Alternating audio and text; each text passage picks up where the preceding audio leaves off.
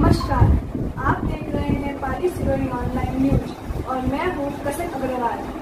आइए बढ़ते हैं खबरों की ओर। इन खबरों के अलावा सभी खबरें पढ़ने के लिए मोबाइल के प्ले स्टोर पर जाकर डाउनलोड करें पाली सिरोही ऑनलाइन पाली ज़िले के बाली उपखंड के बोया ग्राम पंचायत के निकट कोटरा ग्राम में आबादी बस्ती में घुसा पैंतर पैंतर ने आबादी बस्ती में किया गाय का शिकार।